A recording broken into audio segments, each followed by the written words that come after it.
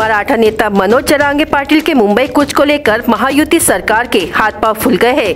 मराठा आरक्षण की मांग को लेकर जरांगे अपने काफिले के साथ मुंबई की ओर लगातार बढ़ रहे हैं, जिसमें भारी संख्या में उनके समर्थक जुट रहे हैं। उन्होंने अब तक सरकार की ओर से की गई सारी अपील को ठुकराते हुए कहा कि वे मराठा आरक्षण को लेकर ही दम लेंगे।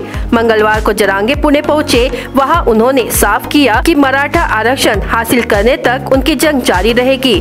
साथ ही मुंबई पहुँचने के फैसले को भी अटल बताया है। इससे सीएम एकनाथ शिंदे का सिरदर्द बढ़ गया है। जरांगे अपने मार्च के तहत 24 जनवरी की रात में लोनावला पहुँचेंगे। वहाँ उनके समर्थकों के लिए एक बड़ा कैंप बनाया गया है। जरांगे अपने समाज के सदस्यों के लिए लोनावला में प्रत्येक घर से 25 चपाती और मूंगफली की चटनी देने की अपील की है। इस तरह लगभग 10 लाख चपातियाँ, चटनी और 50 टैंकर पानी की व्यवस्था की गई है।